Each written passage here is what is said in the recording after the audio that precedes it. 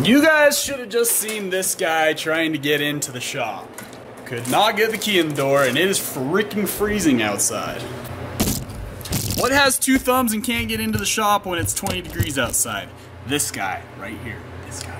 Ladies and gentlemen, welcome to Schneiter's Golf. My name is Eric Schneiter and tonight we're going to be making a custom repair tool.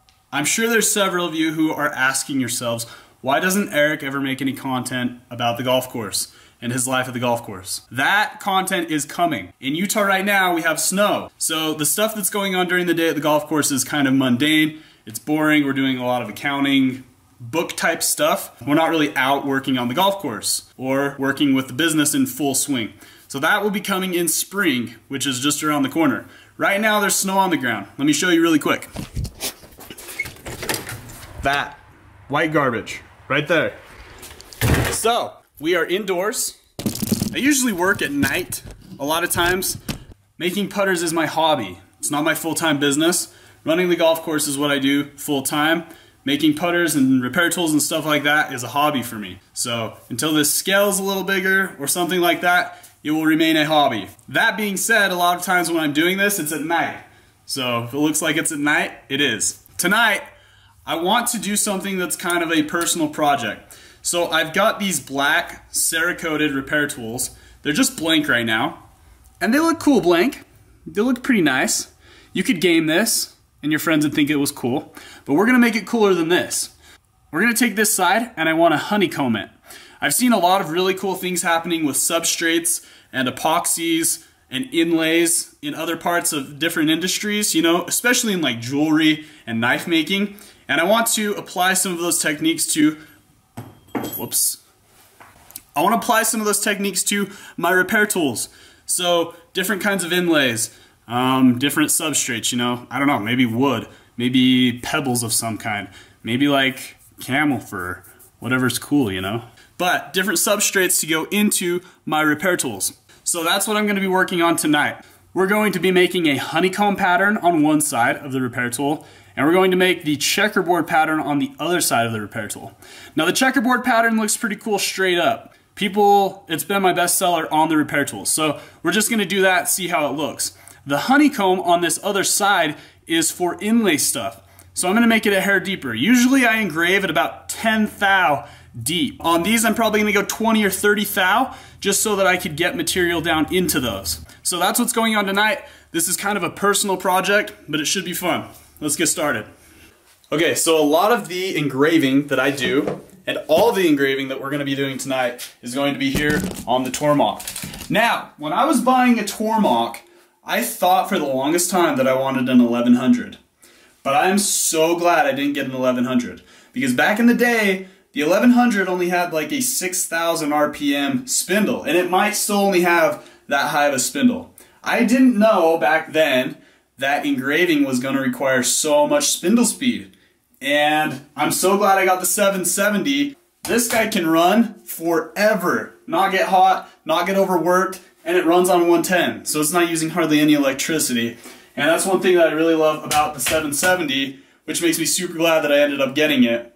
So, we need to take these Car Smart soft jaws out. We need to put in the soft jaws for the repair tools, and then we're gonna start engraving.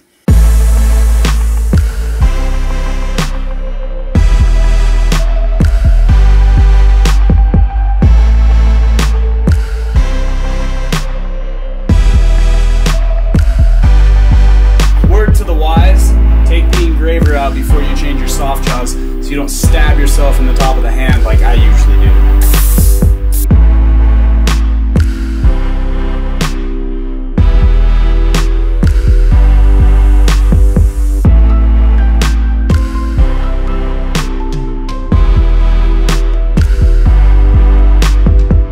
Now when you're putting these soft jaws in, you want to make sure that these surfaces here and these clamps up here don't have any chips in them because if they do, it's enough to throw you off. A couple thou, 10 thou if it's a fat chip in here.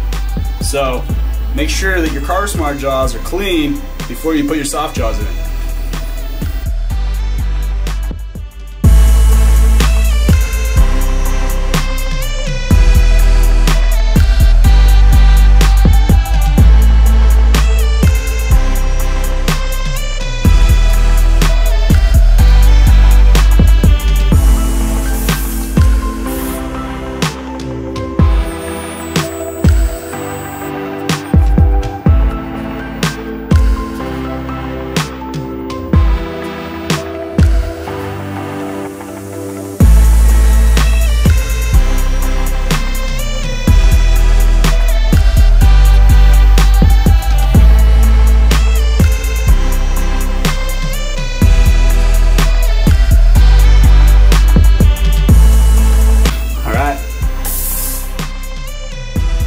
I think it's all touched off already and the length is set. Go ahead and run this program. Checkerboards.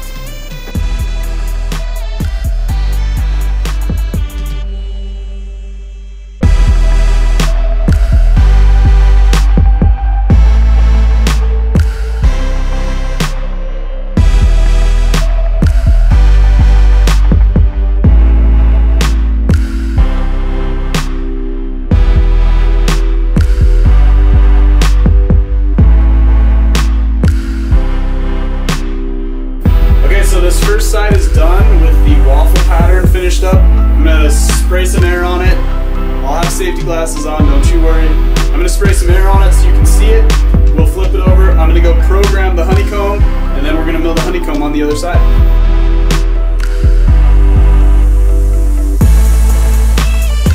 Look at those bow ties.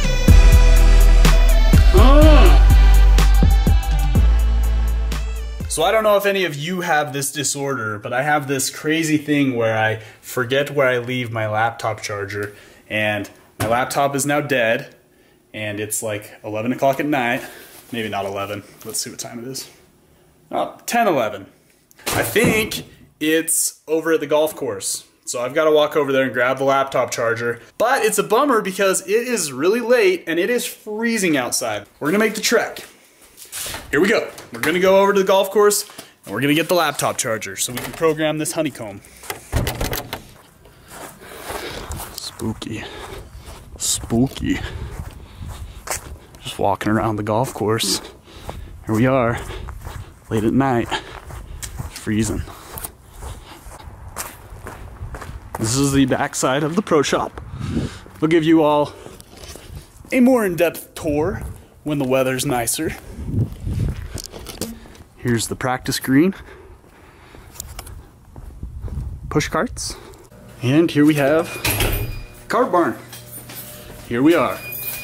There it is. Look at that right there. You look at that? You wait right there. I'm gonna open up Fusion, program some honeycombs, and we'll go finish this repair tour. Sit tight.